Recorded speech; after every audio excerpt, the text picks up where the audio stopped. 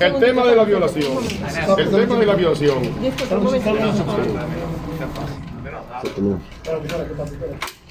Adelante, adelante, adelante.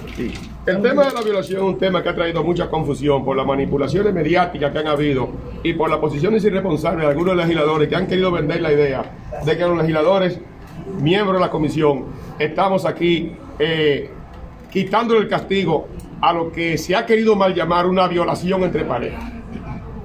Ese es un tipo penal que para mí no existe. Cuando una mujer y un hombre se casan, lo primero, el primer, la primera motivación para casarse está implícitamente establecido el tema de las relaciones sexuales. Aquí nadie se casa para poner una fábrica de ropa.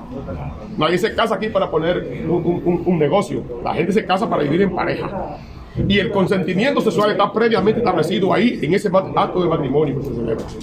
Ahora, lo que ocurra de ahí en adelante, en una relación de pareja, en un lecho, puede ser llamado violencia de género, puede llamarse maltrato físico, pero no me le llamen violación. No me le llamen violación.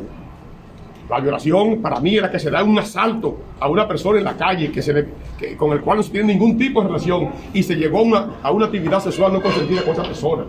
Ahora, el que yo castigue ese maltrato físico o lo que le llaman violación, las relaciones no consentidas entre parejas, debo castigarlo porque es un acto desdenable.